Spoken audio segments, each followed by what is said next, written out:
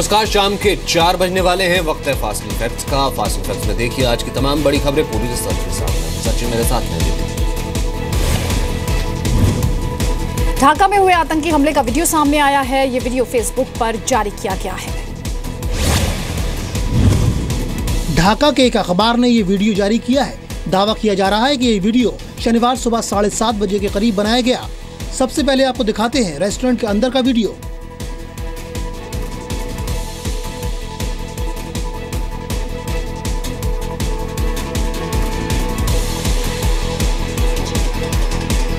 आपने देखा रेस्टोरेंट के दरवाजे से। रेस्टोरेंट के अंदर बंधक बनाए गए लोग और उन पर एक सैतालीस तान कर खड़ा आतंकवादी।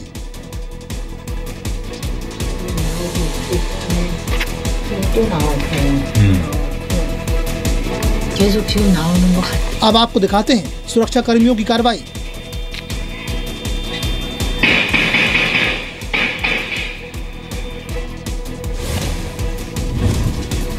बांग्लादेश सरकार ने ढाका की आर्टिसन बेकरी पर हुए आतंकी हमले के पीछे आईएसआईएस का हाथ होने से इनकार किया है। हमले के बाद से ढाका में हाई अलर्ट जारी है। इस बीच बांग्लादेश के गृह मंत्री अजदु जामन खान ने दावा किया है कि हमले में शामिल सभी आतंकी बांग्लादेश के नागरिक थे, जिसमें से पाँच की कई आपराधिक मामलों में पुलिस को तलाश थी। ये सभी जमातुल मुजाहिदी बांग्लादेश के आतंकी थे। आईएसआईएस ने बयान जारी कर हमले की ज़िम्मेदारी ली थी। It is all our national, our people, and now they becomes to um, try to contact with IS. This is the thing. शुक्रवार को ढाका के गुलशन डिप्लोमेटिक जोन में बने आर्टिसन बेकर रेस्टोरेंट में हुए आतंकी हमले में 20 विदेशी नागरिकों की हत्या कर दी गई। करीब 11 घंटे तक चले ऑपरेशन के बाद छह आतंकियों को मार गिराया गया जबकि एक को ज़िंदा पकड़ा गया पुलिस ने रेस्टोरेंट से तेरह लोगों को सुरक्षित बचाया हमले में मारे गए ज़्यादातर लोग इटली और जापान के नागरिक थे। ढाका में आतंकी हमले में मारी गई 19 साल की भारतीय लड़की तारिश जैन का शव कल भारत लाया जाएगा। उत्तराखंड में बादल फटने की वजह से मची तबाही के बाद राहत और बचाव का काम जारी है। राज्य के सभी अधिकारियों की छुट्टियों को रद्द कर दिया गया है। रिटायर हो रहे पटवारी तहसीलदारों को भी छह महीने का एक्सटेंशन दे दिया गया है। तबाही से प्रभावित इलाकों में बारिश थमने की वजह से राहत के काम में तेज़ी आई है। लैंडस्लाइड की वजह से बंद पड़ी सड़कों से मलबा हटाने का काम जारी है। मलबे में दबे लोगों की तलाश भी जारी है। पौड़ी में दिल्ली से गए 10 पर्यटक सिलगाड़ नदी के बहाव में फंस गए। तीन घंटे की कड़ी मशक्कत के बाद रेस्क्यू टीम ने लोगों को बचाया। राज्य की ज़्यादातर नदियाँ उफान पर हैं। नदी किनारे बने घरों पर भी खतरा मंडरा रहा है। राज्य में आपदा से निपटने की रणनीति पर चर्चा के लिए मुख्यमंत्री हरीश रावत ने देहरादून में अधिकारियों के साथ बैठक की। मौसम विभाग ने बारिश की वजह से जारी रेड अलर्ट को घटाकर ऑरेंज कर दिया है। स्थिति ठीक है। कोई ऐसी घबराहट की बात नहीं है। दुर्भाग्य ज़रूर हमारा है कि कुछ गाँवों में कहर बरस बरस गया। जी उसको हटा दिया गया। रेड अलर्ट अब नहीं रखेंगे। अब आप ये कह सकते हैं ऑरेंज अलर्ट जो है उससे जो नेक्स्ट नीचे की कैटेगरी है उसको रखा गया है। चमोली और पिथौरागढ़ में लैंडस्लाइड की वजह से अब तक चौंतीस लोगों की मौत हो चुकी है। मलबा आने की वजह से ऋषिकेश बद्रीनाथ नेशनल हाईवे 59 पर आवाजाही बंद है। एसडीआरएफ के साथ ही एनडीआरएफ, आर्मी और आईटीबीपी की टीमें भी राहत और बचाव के काम में जुटी हैं। उत्तराखंड के बनसभा बैराज से पानी छोड़े जाने की वजह से पीलीभीत और खीरी में भी शारदा नदी से सटे इलाकों में अलर्ट जारी किया गया है। आपको बता दें अगले 24 घंटों में उत्तराखंड के आठ जिलों के कुछ इलाकों में भारी बारिश की चेतावनी जारी की गई है। पंजाब में आम आदमी पार्टी के एक बड़े विवाद में फंस गई है। दिल्ली में आप विधायक नरेश यादव पंजाब का माहौल बिगाड़ने की कोशिश करने का उन पर आरोप लगा है दिल्ली में मेहरौली से आपके विधायक नरेश यादव के खिलाफ पंजाब के मलेर कोटला में दंगा भड़काने का मामला दर्ज किया गया है। यादव पर धर्म के आधार पर दो समुदायों के बीच दुश्मनी फैलाने की कोशिश करने का आरोप लगा है। मैं एक पॉलिटिकल साजिश का शिकार हो गया जिसमें आम आदमी पार्टी के नरेश यादव ने मेरे को लालच दिया। ये काम करने के लिए उन्होंने कहा आने वाले चुनाव के मद्देनज़र हमें कुछ पॉलिटिकल माइलेज लेना है। बिल्कुल झूठा आरोप है जब सारे देश के हिंदू मुसलमान सिख ईसाई सब हमारे साथ हैं और हम चुनाव जीत रहे हैं तो हम ऐसी ऐसा क्यों करेंगे? सारा देश जानता है कि एक ही पार्टी ऐसा कर सकती है। ये लोग चुनाव हार रहे हैं। बीजेपी कांग्रेस और अकाली दल ने मामले को लेकर आप पर हमला बोला है।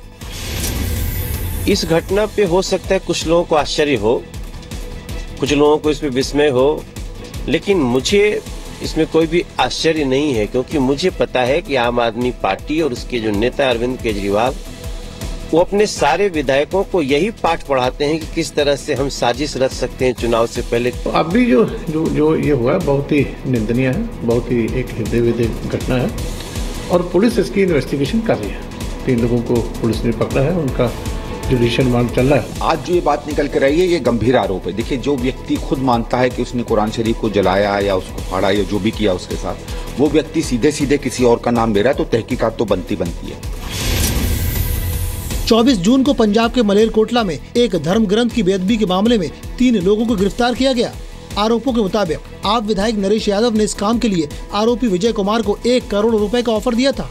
अकाली दल के नेता और पंजाब के सीएम प्रकाश सिंह बादल ने जाँच का हवाला देते हुए मामले पर कुछ भी बोलने से इनकार किया है। विवादों के बीच दिल्ली के मुख्यमंत्री अरविंद केजरीवाल से तीन दिन के पंजाब दौरे पर हैं। केजरीवाल ने अमृतसर से दौरे की शुरुआत की। दिल्ली के पूर्व मुख्य सचिव उमेश सहगल पर एक महिला ने छेड़छाड़ जैसा गंभीर आरोप लगाया है। महिला का आरोप है कि ओमेश सहगल ने पंचशील क्लब के स्विमिंग क्लब में उनके साथ छेड़छाड़ और बदतमीजी की। ओमेश सहगल पंचशील क्लब के अध्यक्ष हैं। पीड़ित महिला के मुताबिक उन्होंने पहले क्लब कमेटी से शिकायत की थी, लेकिन जब कोई कार्रवाई नहीं हुई तो फिर उन्होंने दिल्ली महिला आयोग का दरवाज़ा खटखटाया। महिला आयोग के दखल के बाद अब जाकर उमेश सहगल के खिलाफ हौज खास थाने में मामला दर्ज कर लिया है। डीसीडब्ल्यू ने पंचशील क्लब के सचिव को भी नोटिस देकर जवाब मांगा है लेकिन अभी तक कोई जवाब महिला आयोग को नहीं मिला है। वहीं दूसरी तरफ़ उमेश सहगल ने इस कार्यवाही को राजनीति से प्रेरित बताया है। उमेश सहगल ने सरकार पर आरोप लगाया है कि दिल्ली महिला आयोग उन्हें फंसा रही है। पुलिस ने उमेश सहगल के खिलाफ यौन उत्पीड़न का मामला दर्ज किया है। दिल्ली के आया नगर में आज दिल्ली सरकार और एमसीडी के खिलाफ लोगों ने अनोखे अंदाज में प्रदर्शन किया। घोड़ों और गधों के साथ इलाके के लोगों ने सड़क पर प्रदर्शन किया। प्रदर्शनकारियों ने घोड़ों और गधों पर पोस्टर्स भी लगाए थे। लोगों ने सरकार और एमसीडी के खिलाफ नारेबाजी की और पुतला भी जलाया। बरसात होगी तो क्या हाल बनेगा?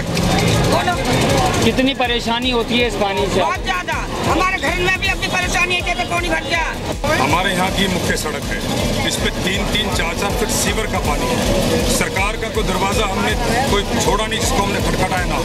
दिल्ली में जो एमसीडी है और दिल्ली की जो सरकार है, हमारी कोई बात को सुनने को तैयार नहीं है। यहाँ पर इस सड़क से ना कोई नौकरी जा पा रहा है, ना कोई स्कूल जा पा रहा है। जो गाड़ियाँ हैं, गाड़ियों के अंदर नीचे से सीवर का पानी गाड़ियों के अंदर आ रहा है। प्रदर्शनकारियों का आरोप है कि इलाके में दो से तीन फीट नाले का पानी भरा हुआ है। आरोप है कि सरकार और एमसीडी से कई बार शिकायत के बावजूद अभी तक कोई कार्रवाई नहीं हुई है। लोगों का आरोप है कि शिकायत करने पर नेता और अधिकारी एक दूसरे पर आरोप डाल रहे हैं। राजधानी दिल्ली में मानसून दस्तक दे चुका है। मानसून को लेकर एमसीडी और दिल्ली सरकार काफ़ी दावे करती रही है, लेकिन इस तरह की तस्वीरें इन तैयारियों की पोल खोलने के लिए काफ़ी है। मध्य प्रदेश के सत्ता के नारी निकेतन पर लड़कियों की सौदेबाजी करने के आरोप लगे हैं। नारी निकेतन से भागकर निकली लड़कियों ने कई गंभीर खुलासे किए हैं। पीड़ित लड़कियों ने नारी निकेतन के स्टाफ और वार्डन पर लड़कियों का सौदा करने का आरोप लगाया है। पुलिस ने मामला दर्ज कर जाँच शुरू कर दी है। नारी निकेतन ने आरोपों को बेबुनियाद बताया है। ऑफ़िस का गेट खुला मिलेगा तो तुम आ जाना, इन लोग को देख लेना, फिर दस बजे तक इनको यहाँ से ले जाना, और कोई भी आएगा तो कह देंगे कि ये लोग मतलब लड़के के साथ भाग गई हैं, बालिक हैं। एक आवेदन पत्र उनकी ओर से दिया गया है। उस आवेदन पत्र के तातम में हम हमारे कोतवाली पुलिस के द्वारा एसडीएम न्यायालय में उनको प्रस्तुत किया गया है, और माननीय एसडीएम न्यायालय में उनके, इनके स्टेटमेंट भी हुए हैं। अभी वो स्टेटमेंट हमको प्राप्त नहीं हुए हैं और प्राप्त होने के बाद जैसा भी नियम संगत होगा हम कार्रवाई करेंगे। मतलब इन लोग कहना चाहिए भले आरोप लगा रही हैं सर क्योंकि वो इसलिए लगा रही हैं कि एक दिन पहले हमसे ये बोली थी कि मैडम मुझे आप बाहर करो हम लोग बालिक हैं आप क्यों अंदर रखें हमें यहाँ पे? नारी निकेतन से भागकर दोनों पीड़ित लड़कियाँ जबलपुर होते हुए दमोह पहुँची। पीड़ितों के मुताबिक जबलपुर में पुलिस ने उनकी शिकायत सुनने से इनकार कर दिया। दमोह में दोनों पीड़ित लड़कियों ने एसडीएम कोर्ट में अपना बयान दर्ज कराया है। शुरुआती जाँच के बाद एक पीड़ित को उसके परिवार को सौंप दिया गया। वहीं दूसरी लड़की के अनाथ होने की वजह से उसे ग्वालियर के नारी निकेतन भेज दिया गया है। यूपी के फिरोजाबाद से एक आईएएस की पिटाई का मामला सामने आया है। मामला फिरोजाबाद के सदर तहसील का है। एक वकील और उसके बेटों पर एसडीएम और उनके स्टाफ के साथ मारपीट का आरोप है। किसी काम से एसडीएम रविंद्र के पास पहुँचे आरोपियों ने पहले दफ्तर के बाहर बैठे अर्दली से मारपीट शुरू कर दी। मारपीट की आवाज़ सुनकर दफ्तर में मौजूद एसडीएम बाहर निकले। अर्दली को बचाने की कोशिश की। आरोपियों ने एसडीएम पर भी हाथ छोड़ दिया। पुलिस ने तीनों आरोपियों को गिरफ़्तार कर लिया है। विजय प्रकाश नाम का व्यक्ति शराब पीकर शराब में मेरे कार्यालय में आया। और बाहर बैठे जो मेरे गार्ड था उसके साथ में दो व्यक्ति लेके आया था तो वो उसके पुत्र बताए गए हैं। उन व्यक्तियों ने मेरे गार्ड से अपने राइफल छीनने का प्रयास किया उनके और उनसे बदतमीजी करने लगे और मारपीट करने लगे। शनिवार शाम करीब चार बजे आईएएस अधिकारी एसडीएम रविंद्र अपने चैम्बर में कामकाज निपटा रहे थे। उनके साथ तहसीलदार जीत राय सिंह और दूसरे अधिकारी भी मौजूद थे। इसी दौरान पूर्व तहसील बार एसोसिएशन के अध्यक्ष विजय प्रकाश यादव अपने दो बेटों पंकज और ललितेश के साथ पहुँचे। स्थानीय लोगों के मुताबिक आरोपी वकील को पहले भी एसडीएम के अर्दली के साथ बहस हो चुकी है। मुंबई वालों को आज बारिश से थोड़ी राहत मिली लेकिन समुद्र में हाई टाइड की चेतावनी ने लोगों की परेशानी बढ़ा दी। गेटवे ऑफ़ इंडिया के पास हाई टाइड देखने के लिए लोगों की भीड़ जुटी थी। हालाँकि प्रशासन ने हाई टाइड की आशंका को देखते हुए लोगों को समुद्र तट से दूर रहने की चेतावनी दी थी। सुरक्षा के लिए लाइफ गार्ड्स को भी तैनात किया गया था। जुहू बीच पर भी सुबह साढ़े ग्यारह बजे के करीब समंदर में ऊँची ऊँची लहरें उठी। समुद्र की जो लहरें हैं वो उफान पर है, क्योंकि जिस तरीके से देखा गया है कि हाई टाइड का समय है, ऐसे में बीएमसी की तरफ़ से प्रिकॉशन लिया गया है। साथ ही साथ यहाँ जो है बोर्ड भी लगाया गया है और उसमें जानकारी दी गई है कि कब और कितने बजे हाई टाइड होगा।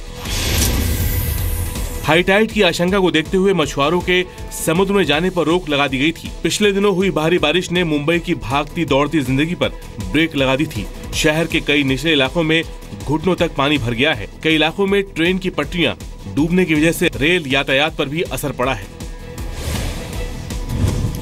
आज तो मुंबई में बारिश थमने से कुछ राहत मिली, लेकिन मौसम विभाग ने अगले 24 घंटों तक भारी बारिश की संभावना जताई है।